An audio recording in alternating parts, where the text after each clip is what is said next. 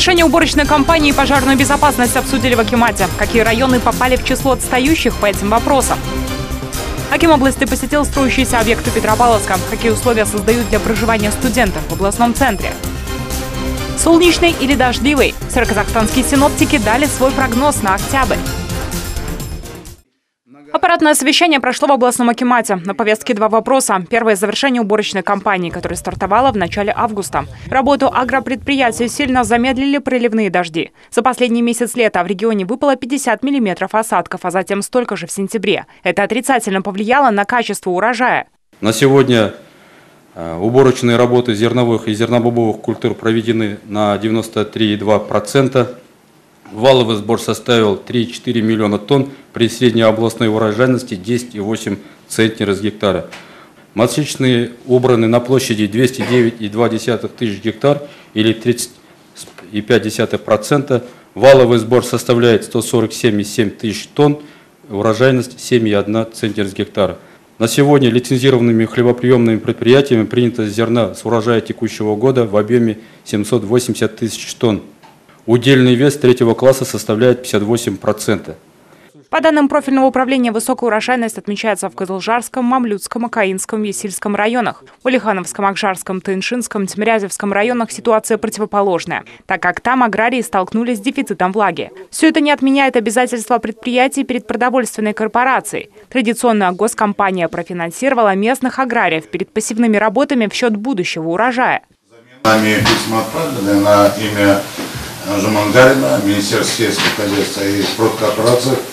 В первую очередь мы просим значит, ускорить внесение изменений в правил в связи с изменением качества зерна. Значит, второе, значит, э, просим сделать замену культур и установить справедливую цену, которая будет э, соответствовать тем реалиям закупа, которые на сегодняшний день есть. Я думаю, что к концу этой недели, на следующей неделе уже новые правила и закупочная цена будет установлена. Еще один важный вопрос, которому, по мнению главы региона, следует уделить особое внимание – обеспечение области семенным материалом.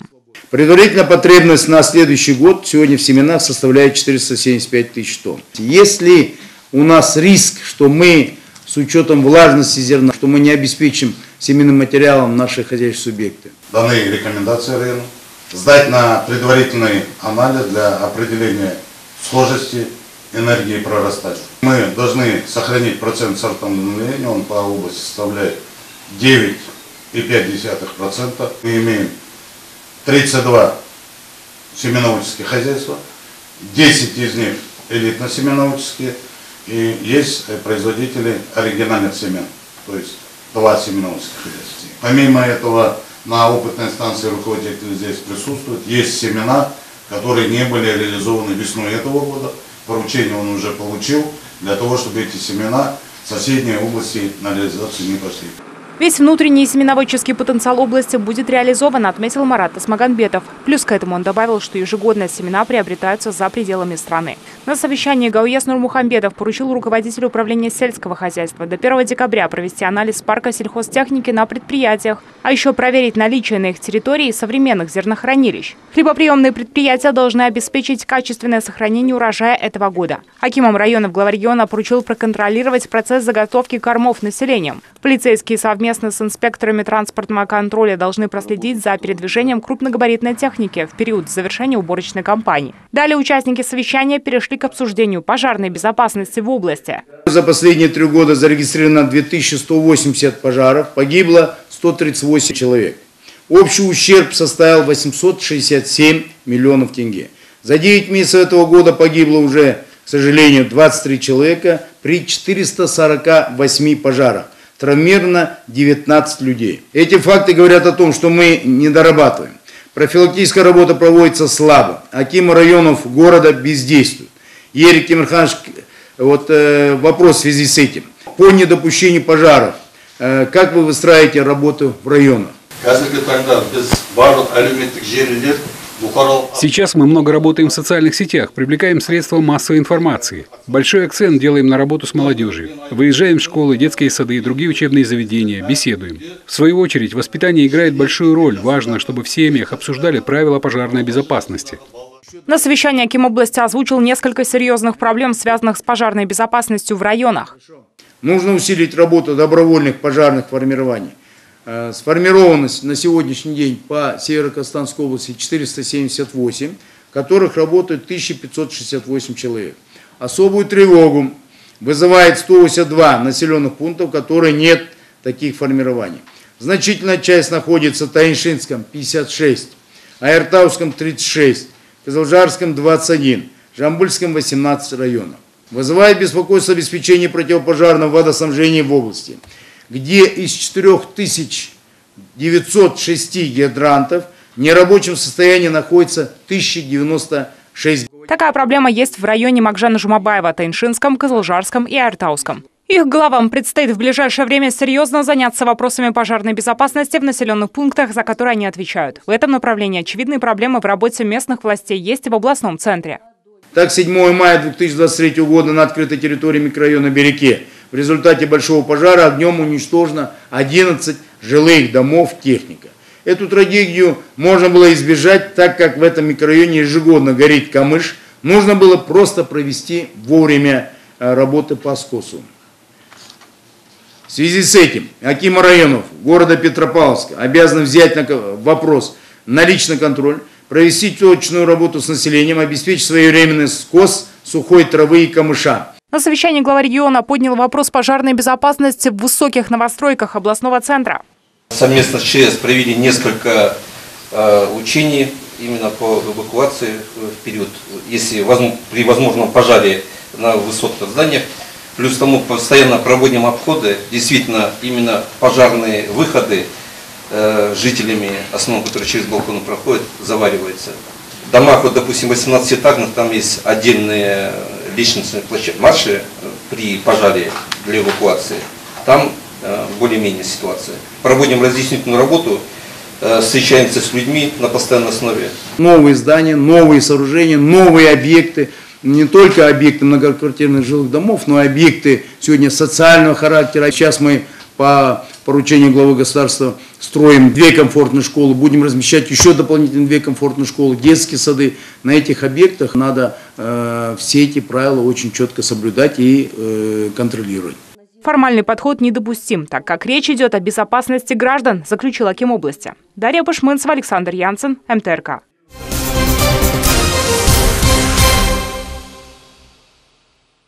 Строительство студенческого общежития на 306 мест на финишной прямой. Его начали возводить в 2019 году. Первый этаж здесь полностью отвели для преподавателей из США, которые будут проводить лекции в рамках сотрудничества Североказахстанского вуза и Университета Аризоны. Для них, как и для студентов, предусмотрены просторные комнаты на три человека. На каждую секцию это две комнаты, отдельная кухня и санузел. 290 тысяч тенге за квадратный метр.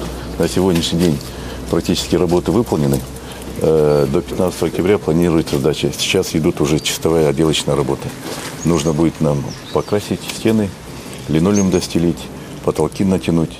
Завершается и строительство вот этого студенческого общежития на 244 места. Остались внутренние работы и благоустройство территории. А по соседству строят еще два студенческих дома по 600 мест в каждом.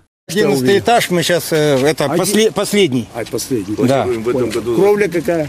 Мягкая? Ну, мягкая кровля, да. Угу, понял я. Понял. Ну, облицовка тут будет витражи и э, композитная панель. Сдача на следующий год? Да. Какой месяц? Август. 2300 студентов нуждаются в местах в общежитиях. И с каждым годом число иногородних студентов растет, говорят в ВУЗе. Сейчас в университете знания получают учащиеся со всех областей Казахстана и 10 стран мира. Также Аким области проинспектировал ход строительства домов в микрорайоне Капай. В этом году уже один проект по инженерным системам начина, начал реализовываться. На следующий год республика поддержит на продолжение развития инженерных систем. Это кредитные дома? Это, Это кредитные. Скольки этажные? Кредитные. Девяти. Здесь планируют возвести 27 бюджетных домов и два коммерческих. На шести площадках уже начато строительство. Помимо этого, в микрорайоне Капая появится поликлиника, детский сад и школа на 600 мест в рамках нацпроекта «Комфортная школа». Агирим Хамзин, Александр Янсен, МТРК.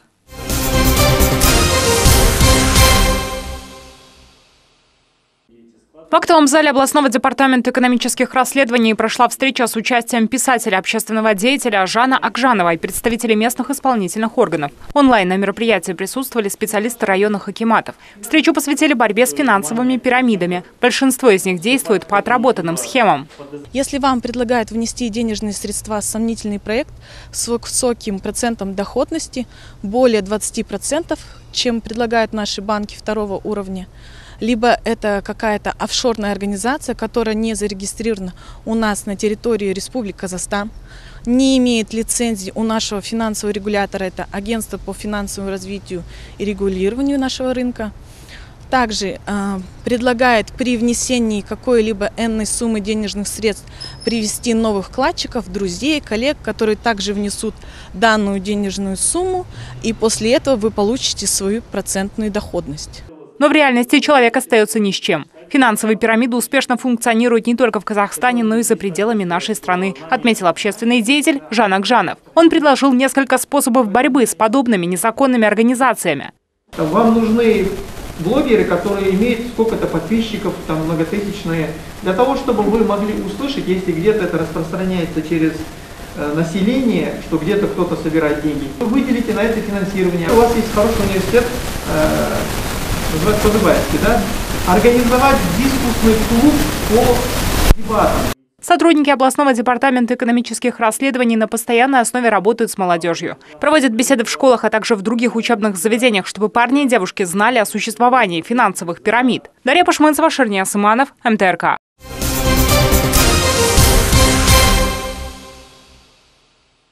Жертвами мошенников, в том числе орудующих с использованием интернет-технологий, зачастую становятся пожилые люди. Именно на них в первую очередь ориентируют профилактику полицейские. На сегодняшний день интернет-мошенники – один из самых распространенных видов преступления. По территории первого отдела полиции зарегистрировано с начала года 77 мошенничеств с использованием интернет-ресурсов. Самым частыми являются звонки от лжев сотрудников банка. Напоминаем, что сотрудники банковских учреждений не звонят и не просят сообщить какие-либо с начала года в области жертвами этого сценария стали 182 человека. Всего в регионе зарегистрировано 516 интернет-мошенничеств. Несколько раз было, что мне звонили, что э, говорили, что у меня сестра там задолжала, и что из-за нее будет у меня наложены санкции. Данные встречи актуальны. Особенно я тут же сразу позвонила своим родителям, потому что до них тоже звонили эти же мошенники с такими же требованиями и с такими же угрозами. Но мои родители э, просто просто положили трубку. Главный совет полицейских – обязательно проверять по официальным каналам любую информацию, в свете которой от вас требуют деньги или совершения каких-либо финансовых операций. Предупреждать об угрозах пожилых родственников. Также нельзя доверять кому-либо персональную информацию и совершать покупки через интернет, не убедившись в добросовестности продавца. Камила Карим при содействии пресс-службы областного департамента полиции.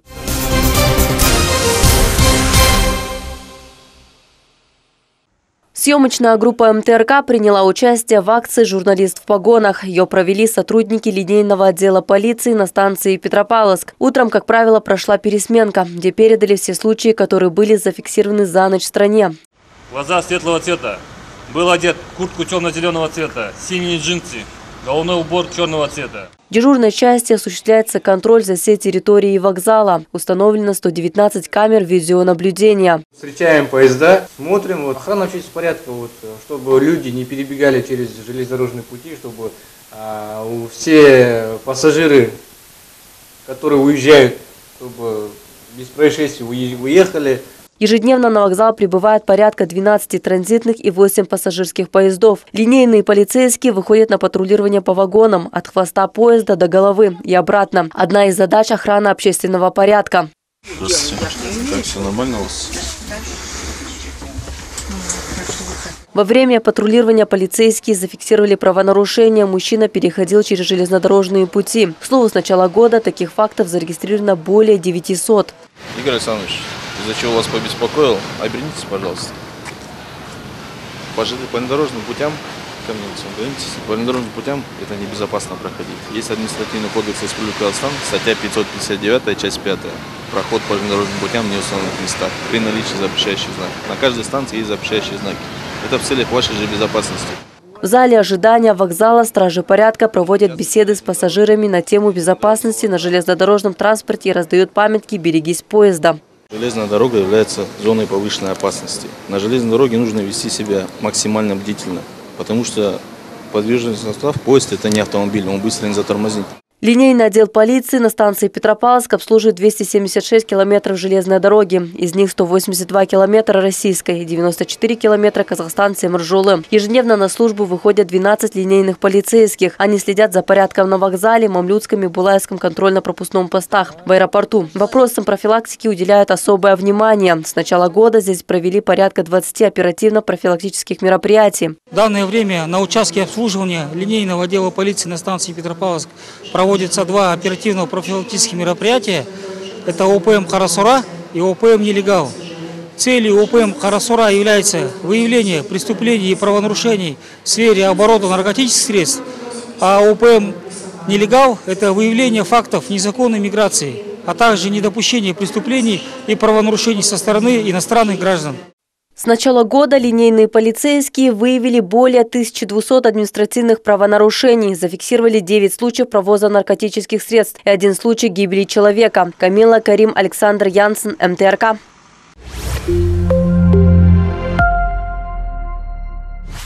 Город Петропавловск. С 5 по 30 октября в теннисном центре состоится большая ярмарка «Унты Якутии». Действует рассрочка 0%. Улица Жабаева, 82А. Вход с торца. Режим работы с 10 до 19 часов. Город Петропавловск. С 5 по 30 октября в теннисном центре состоится большая ярмарка меховых изделий. Действует рассрочка 0%. Улица Жабаева, 82А. Вход с торца. При покупке норковой шубы унты из Якутии в подарок.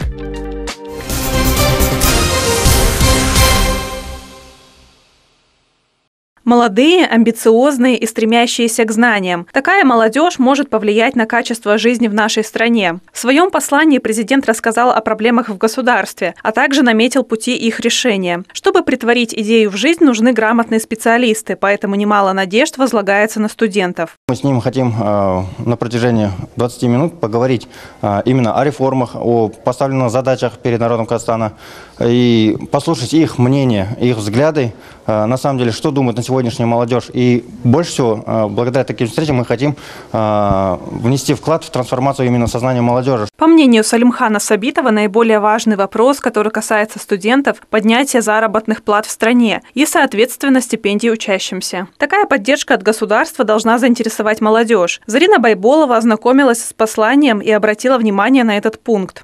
Меня заинтересовало тот пункт, что поднимают минимальную зарплату до 85 тысяч тенге и поднимают и нашу стипендию. Э, теперь у нас стипендия э, состоит из 30 тысяч тенге. Самое главное – соблюдать э, законы, быть законопорядочным человеком, гражданам нашей Республики Казахстана. И, конечно же, не пропускать послания, читать, интересоваться политикой, чтобы подготовиться к взрослой жизни.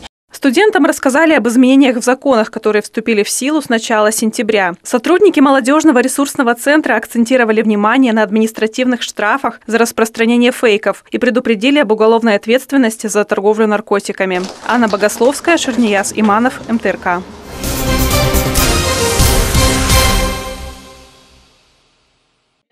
Учитель начальных классов школы лицея Дарин Екатерина Ибраева представляет династию педагогов с общим стажем работы в школе 647 лет. Любовь к детям – главное в профессии, считает Екатерина Валерьевна. И это качество ей привила бабушка. Бабушка моя, Екатерина Федоровна, была учителем начальных классов. И именно она является основателем нашей педагогической династии. Потому что от, ней, от нее потом пошли как веточки ее дети, которые тоже стали педагогами. Пять детей, пять педагогов. В школе лицея Дарын Екатерина Ибраева работает 12 лет. Как и бабушка, она преподает в начальном звене и с уверенностью заявляет, что может найти подход абсолютно к каждому ребенку. Еще моя бабушка говорила, и родители вторили ей, что каждый из детей – это индивидуальность, каждому нужно найти свой ключик, чтобы ребенок загорелся, чтобы он захотел учиться, шел в школу с любовью, с желанием. И думаю, что у меня это получается. На уроках стараюсь применять самые различные методы, и игровые моменты, и работа в группах, и работа в парах, чтобы заинтересовать детей, чтобы они имели возможность поделиться своим опытом не только со мной, но и друг с другом. Каждый из учителей династии имел свои собственные методы преподавания, но все они разделяют общие ценности – развивать учеников, помогать им реализовывать свой потенциал и готовить их к будущим вызовам. Мне часто задают вопрос, почему именно учителям, почему не финансистам, не экономистам, где профессия более денежная. Я вам скажу так, что прежде чем стать человеком любой профессии, нужно именно сначала обучиться в школе. И именно педагоги, учителя начальных классов, учителя среднего звена, предметники э, дают толчок, э, дают возможность детям найти себя в дальнейшем. И именно от того, насколько мы сможем донести знания детям, зависит их будущая жизнь. Династия учителей, которую представляет Екатерина Ибраева, является вдохновляющим примером для всех преподавателей. Она демонстрирует, что образование – это не только работа, но и призвание. Это возможность помогать детям преодолевать любые трудности и достигать успеха. Мне очень нравится наш учитель, он красивый, э, иногда бывает строгий, но он правильный. Наш учитель э, дает знания, он э, может нас поддержать. Если мы что-то неправильно сделаем, он нас, нам подскажет. У нас учитель очень справедливый, он никогда просто так не ругает и если что-то с нами случится, он поможет. Валерия Сиваш, Вадим Мударисов, МТРК.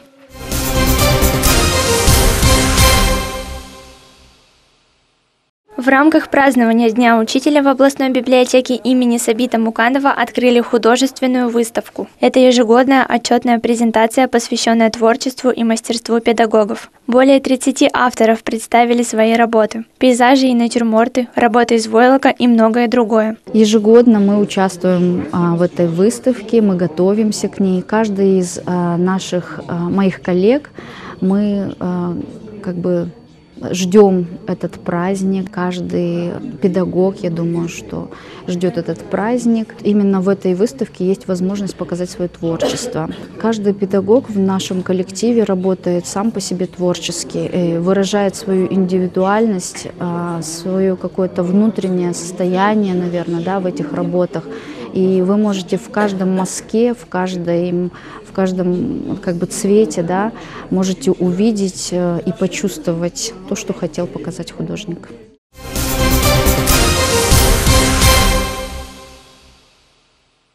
Погода в октябре, по прогнозам синоптиков, будет нестабильной. В начале месяца все не так уж плохо. От 15 до 20 тепла днем и от 3 до 8 ночью. Но с середины октября североказахстанцам нужно одеваться теплее. В середине первой декады ожидается температура воздуха ночью 3-8 тепла, на юго-востоке области заморозки 1 градус, днем 15-20 тепла.